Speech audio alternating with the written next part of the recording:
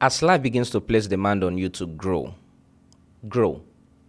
What many of us do is we patch our lives and then we reap the consequence of that and later come to begin to blame everything around us. Blame your parents, blame your job, blame your boss, blame your spouse, blame your kids, blame even God. But when life was placing demand on you to grow, you didn't pay attention. You were trying to patch. So I'll give you an example. So this young man is living in a one room. And life is telling him, see, uncle, you have to grow, you have to do bigger things. Leave this one room and go get a one bedroom flat. So if you're not a Nigerian, what we call a one bedroom flat is a house with a parlor that has its a room, then your kitchen and bathroom.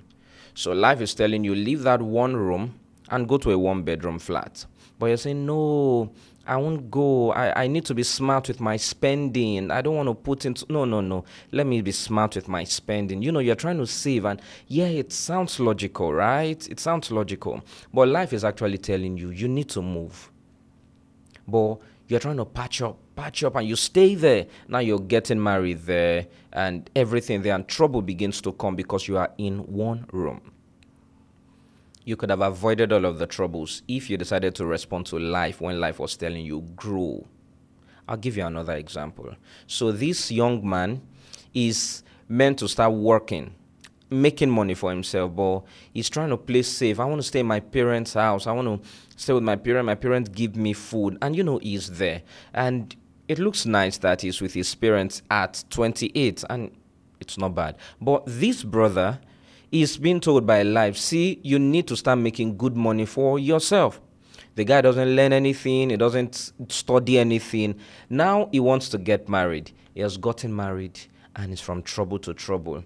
It cannot pay his house rent, It cannot pay um, feeds for his, his, his kids. You know, it's just full of struggle. Life is just full of struggles. But if he had responded to life when life was telling him, grow, it wouldn't be where he is now.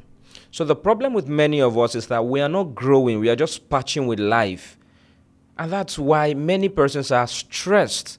So someone at the age of 60 is complaining of a whole lot of things that he could have changed when life was telling him to change, to grow at the age of 25. But he didn't respond. He kept trying to play safe, kept trying to patch up life. And now he's 60 and he's full of troubles. Life is beating him left, right, center. So as life is telling you to grow, my friend, you need to grow and stop patching up with life. Take that step. Do that thing. Get that job. Resign from that job. Travel.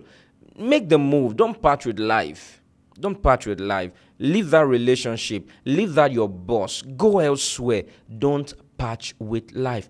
Grow as life is placing demand on you to grow. Don't patch with life. This will help you.